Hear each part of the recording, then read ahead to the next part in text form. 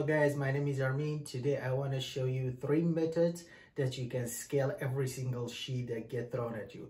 Let's jump to the Bluebeam together so I can show you how you can scale every single sheet.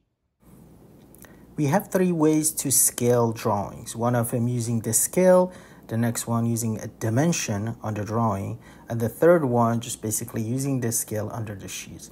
So when you look at the sheets, you're basically looking at the bottom right says scale not set. So that's tell this annotation tells me that this drawing has not been scaled.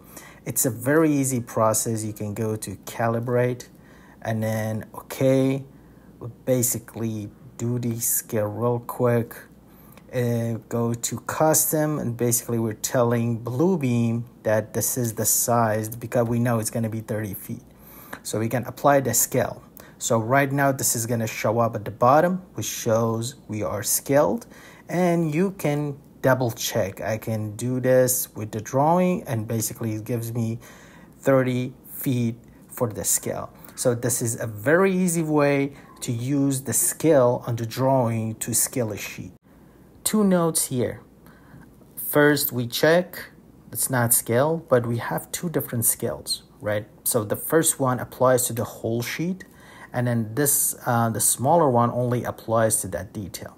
So if you scale 1 to 20 you basically get it for the whole sheet and it's not going to apply to this. But if you want to get the dimension off of these detail you need to use this one. And you can use some presets. So if you look at the left hand side if i click on preset and then use these drop down there is some already predefined um, scales for us to use. So you don't even have to go through um, the process. So right now if i want to use um, one to uh, basically right here one inch to 10 feet. Right now as soon as i select that it basically right here shows that my drawing has been scaled to this detail. So it's not going to apply to the whole sheet. So if i'm done with this detail i want to go back and work on the whole sheet. I can easily go over there and select 1 to 20 it's going to define it we're not going to use this one here and we only apply these to the sheet so this is a very quick way to use the presets in bluebeam to go back and forth when you have a few details on one sheet and then you have a big sheet and then they have a different scale, this is a very good way to go back and forth real quick instead of just caliber. You can kind of go back and forth using the preset um, to uh, scale the sheet. So the last way to scale a drawing is just use dimension. So if you couldn't find any scale on the sheet, um, you cannot use the preset because you don't know what that scale would be. Just find a dimension under drawing. So right here I found a dimension under drawing. I go to our uh, measurement tab same thing. So calibrate okay and I kind of try to get it as close as possible to like 18 feet and 1 inches. So I just here put 18 feet and 1 inches and you should kind of apply. So right now I can check over there.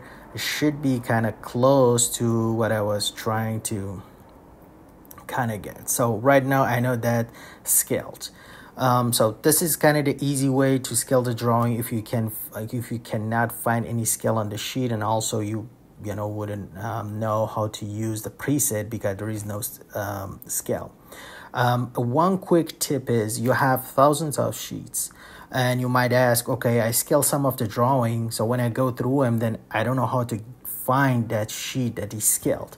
So that is a, a easy way to do.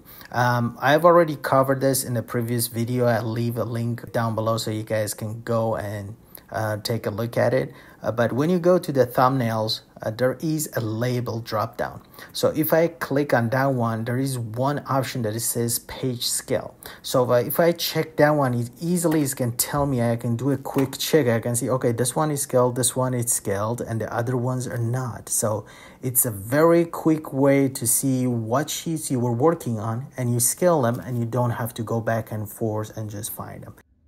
Thank you guys for watching this episode. I'm hoping that I was able to show you a few tips and tricks on how to deal with the sheet that you get that they don't have any dimensions.